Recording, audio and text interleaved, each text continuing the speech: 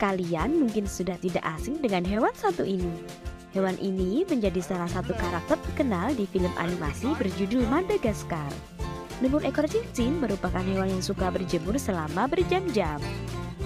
Lucunya, lemur akan berjemur bersama-sama dalam satu kelompok.